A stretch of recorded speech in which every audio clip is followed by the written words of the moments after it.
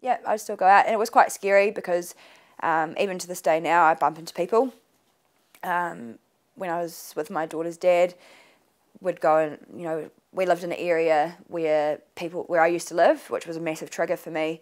I'd been clean for a couple of years by this stage, but um, even bumping into people and I wouldn't know what they'd do, so I'd always quite run. So it was quite scary going out, but I guess I had to because you can't be in a bubble for the rest of your life.